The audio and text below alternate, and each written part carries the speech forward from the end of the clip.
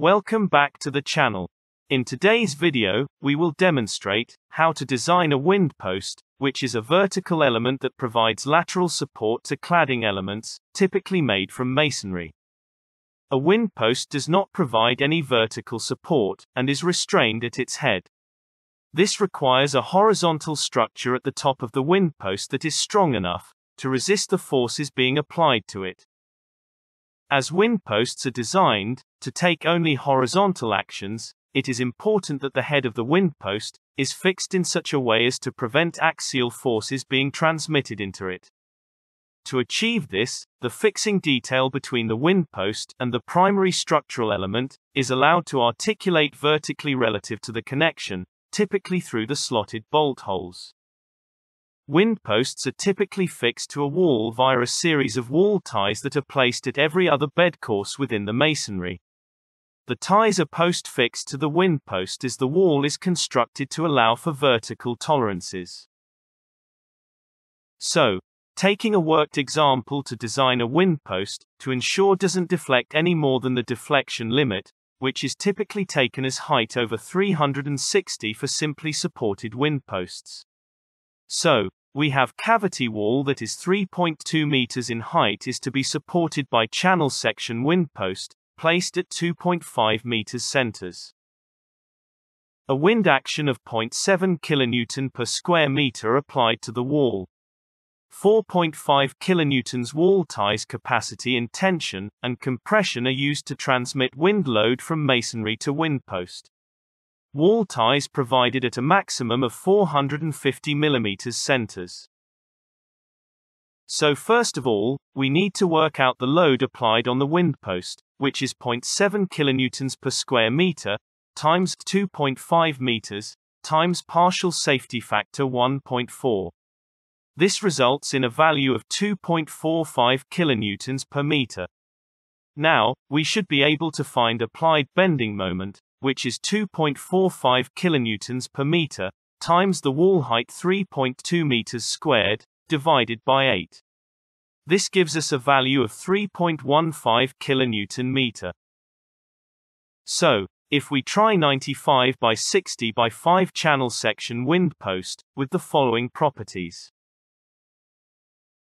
The bending moment capacity would be design strength 180 Newton per square millimeter, times section modulus 28.929 cubic centimeter. We need to convert this to millimeter, so 28.929 times 1000. To get our result in kilonewton meter, we need to divide our value by 10 to the power of 6. This gives us a value of 5.21 kilonewton meter, which is greater than 3.15 kilonewton meter. Next, we need to do deflection check using a simply supported deflection formula. We have got all this information. W is 0.7 times 2.5 meters, which 1.75 kilonewtons per meter. L is the wall height 3.2 meters. E is Young's modulus 210 kilonewtons per square millimeter. So, we will be using kilonewton and millimeters.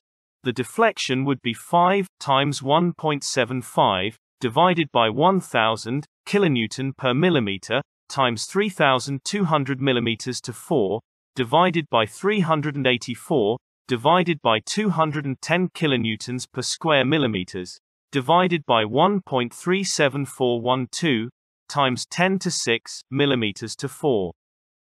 This gives us a value of 8.28 millimeters. Much like beams that support brick walls, wind posts are subject to stringent movement criteria. Masonry is sensitive to any form of excessive displacement, and is likely to crack if movement due to variable actions exceeds span over 360, or plus or minus 5 mm. Finally, wall ties check. Total load on wind post equals 0.7 kilonewtons per square meter, times partial safety factor 1.4 times height 3.2 meters times length 2.5 meters. This results in a value of 7.84 kilonewtons. Therefore, the maximum spacing between ties equals height 3.2 meters times wall ties capacity in tension and compression 4.5 kilonewtons divided by total load on wind post 7.84 kilonewtons divided by partial safety factor for wall ties, which is 3. Convert the result value from meter to millimeter by multiplying by 1000. Hence, the maximum spacing between ties equals 612 millimeters. Consequently, wall ties, provided at a maximum of 450 millimeters centers, is sufficient. Thanks for watching. We hope you found some useful tips. Check out our website at structuralengineercalcs.com. Please like and subscribe, and let us know what would you like to see next. The human footprint is a masterpiece of engineering and a work of art. Stay safe. Goodbye, and see you soon.